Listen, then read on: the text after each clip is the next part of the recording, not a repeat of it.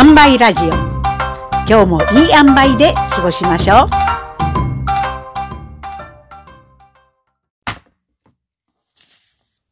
メンタルヘルス話。にもかかわらず笑うの巻。私は講談看護師だなんて吹聴してるんですけれども、プロの講談師からの指導は講談塾の月2回。あとは寄せに通って自己学習。なんといっても一番の修行はお客様の前で話す経験と毎日の生活そのもの。お呼びがかかった日が近づくと、数し詰めの通勤電車の中で創作台本を片手に頭の中で演じては練習。本番では練習不足を度胸とアドリブで補い、お客様と会話するつもりで冷やわせを書きながらも楽しむ。夢中になっている時は快感です。とはいうものの、実は、塾帰りの飲み会が密かな楽しみでありました。無論、コロナ前の話であります。行きつけの中華料理屋で一通り料理が出ると、毎回恒例のショートエピソードご披露タイムがありました。2週間に1回会っている人たちを飽きさせることなく、短い時間でちょっとした話を順番に披露する。みんな実にうまい。ちょっとしたつかみで話に引き込み、お、そういう話かと展開して話を運び、最後にオチをつける。ものすごく短い時間でですよ。大したものです。小さな話も起承転結。そして何よりその話のあちこちにその人らしさが溢れる。日常の何気ないことの中でふと気づかついたこと。映画や芝居や本で感じたこと。偶然あった感動の一、一コマ。それぞれの社会の活動の中でエピソードがあります。そんな話をほんの1、2分披露して、聞いてくる者のの愛の手を入れて、えー、そして盛り上がる。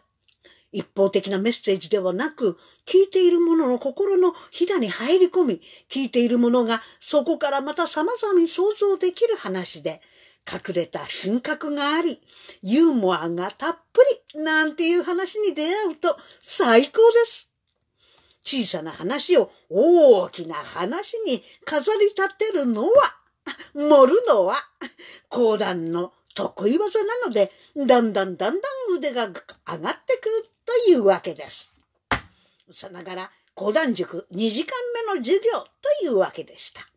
ある日の飲み会で、塾頭が語った一言は、にもかかわらず笑う、にもかかわらず踊るでありました。饒舌に語ったわけではないそのワンフレーズが私には痛く響きました。彼女は弁護士で NPO 法人 DV 被害者支援活動促進のための基金の理事長でもあります。その日、法人総会の締めに、氷川きよしのずんどこ節の替え歌に合わせて舞台の上で夢中になって踊ってみせて会場を沸かせたようです。いろいろ辛いこと、大変なことがあると思うが、にもかかわらず、笑う。にもかかわらず、踊る。これで行きましょう。と結んだそうです。塾とは飲み会でさらっと話したに過ぎないのですけれども、しかし、目下の私のテーマは、最悪の経験を有意義な経験に変えていくには何が必要なのかということだったので、このフレーズがさっと体に入ってきました。そして、そうだよなぁと思ったのです。最悪の事態はもうどうしようもない。にもかかわらず笑う。もう、ボロボロになってしまった。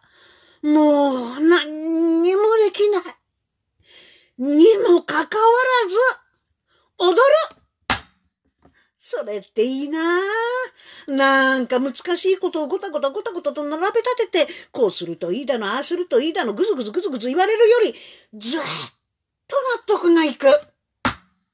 とりあえず、何でもないことで笑ってみて、とりあえず体を動かしてみて、そうやって繰り返し繰り返し過ごしていくうちに、時薬が癒しとなってくれることがあります。そんな感じなんでしょうね。何かのフレーズに、そうだよなーって思うことは、自分の中でそう思える経験が積み重なっていて、なのにその言葉が出てこない。なんて表現していいか言葉が見つからない。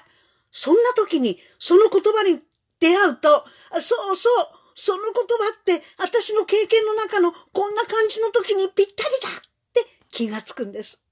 やっと自分が何を考えていたのかに気がつく。つまり、ぴったりな言葉を知らないと、この気持ちをなかなか表現できないというより、言葉に出会って、ああ、あの感じのことだとぴったりな気持ちを自分の中に発見するということです。私は56歳で夜間の大学院に行ったんですけれども、そのことは何者にも変え難い経験でありました。この時にもいろんな言葉に出会いました。多分私はその当時とっても枯渇していたからなのだと思います。ちょっとした言葉を貪欲に吸収したのかもしれません。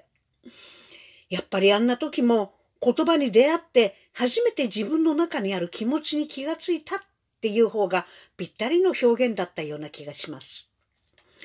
大学院生の控室にこんな小さな張り紙が貼ってありました。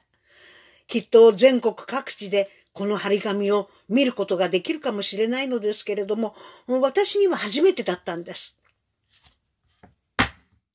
本気。本気ですれば大抵のことはできる。本気ですれば何でも面白い。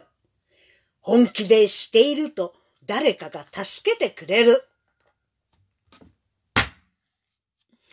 働きながら大学院に行き、自分のテーマを追求しようとしている者たちの何人もがこの張り紙の前に佇んで、そうだよな、つぶやいたのではないかと思います。私もその一人でした。論文が書けないなぁと立ちすくんでいた私にかかかけられた教員の言葉も優しい口調ではなかったのですけれども勇気が湧きました。自分にないもの、失ってしまっていたものを嘆くな。内緒では触れない。こう彼は私に言いました。今あるものを使い尽くせ。持ってるもので勝負しろ。ない時は人から借りろ。そして俺を忘れるな。こう言ってくれました。物覚えも悪くなっていく私たちへのエールという表現でしたけれども、当時の指導教官は、実は脳一血で倒れてリハビリ中だったのです。自分自身への言葉でもあったのだと思います。